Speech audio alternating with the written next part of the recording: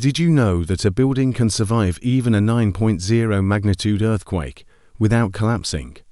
Today, let's explore how earthquake resistant buildings work and uncover the brilliant technology behind them. The base isolation system.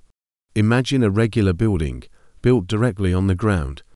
When an earthquake strikes, the ground shakes rapidly, and that motion transfers directly into the building.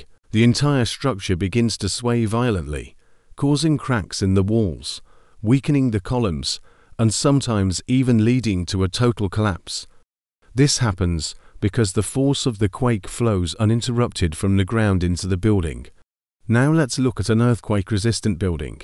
This type of building has a base isolation system installed between the foundation and the structure itself. So, when an earthquake hits, the ground may shake, but the building stays relatively still. Why?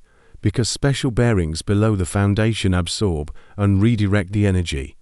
They allow the ground to move while the structure above remains stable, preventing severe damage. At first glance, it might look simple, but inside, there's advanced engineering.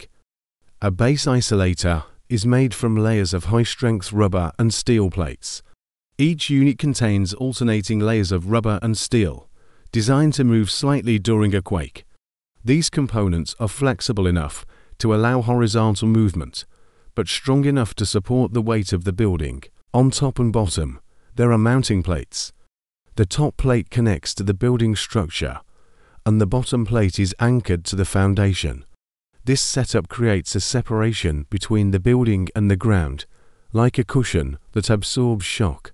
During a powerful earthquake, the ground can shift by 20 to 30 centimeters per second. If that movement goes directly into the building, it can be devastating. But the base isolation system absorbs and reduces this motion. Thanks to the flexible rubber and moving steel plates, the building only sways gently instead of shaking violently. This protects the columns, walls, and roof, drastically reducing the risk of collapse or damage. If you found this video helpful, don't forget to like, share, and subscribe. See you in the next one, where we explore more fascinating technologies. Thanks for watching.